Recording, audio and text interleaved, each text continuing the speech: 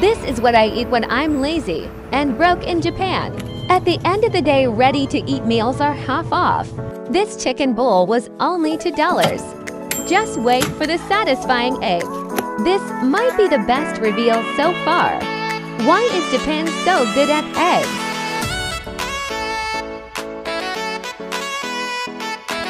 This might be my favorite one yet.